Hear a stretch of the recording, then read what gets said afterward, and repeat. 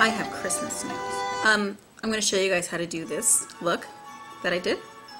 You're going to need um, white nail polish to start off with. So I'm using this base coat. Then this is this brand is called Nina. I'm using China Glaze's um, base coat primer. I'm actually a really huge fan of um, Sally Hansen's Extreme Wear nail colors.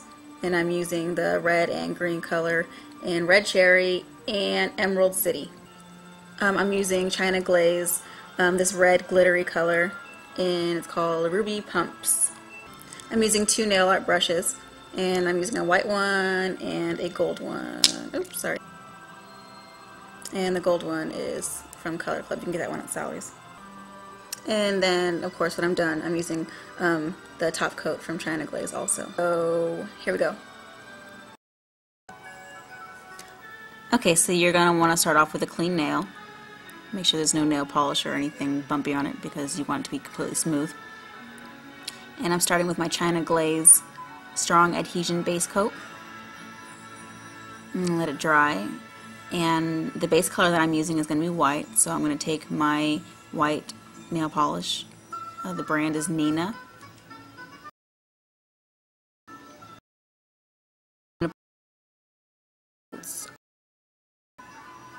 For some reason this white color is kind of clumpy so it takes me a little bit. I gotta get a new one. I don't recommend that brand.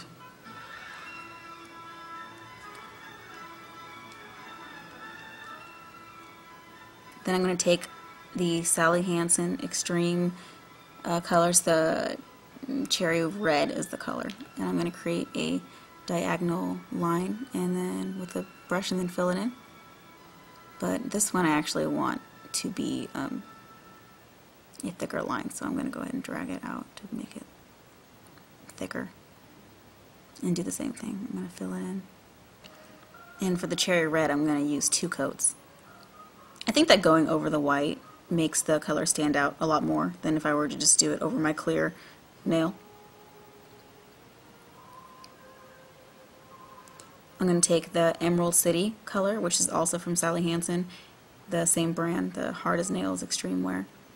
I'm going to do the same thing with the bottom. I'm going to leave a little bit of white in the center, uh, but not too thick.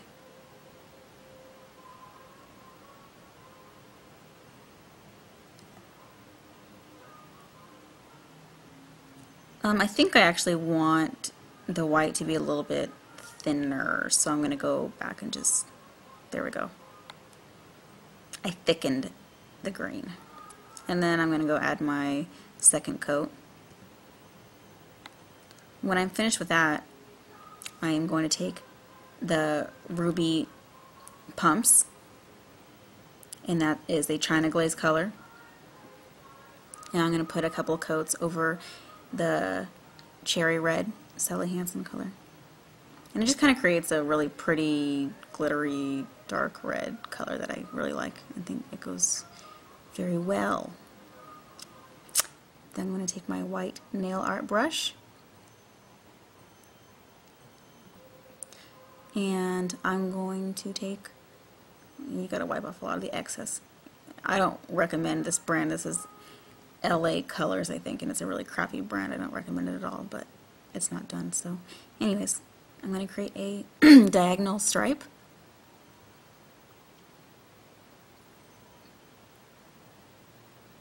And when I'm finished with that, I'm going to go back with my gold nail art brush.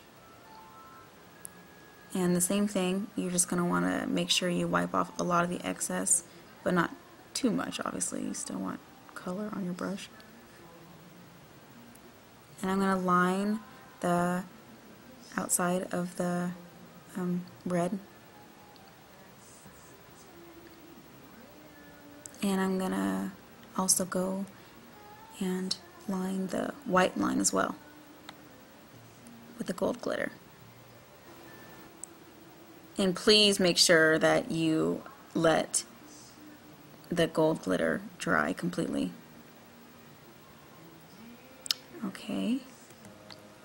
Now that uh, my design is finished, I'm going to go back and put a couple of coats of China Glaze's Fast Forward top coat on top.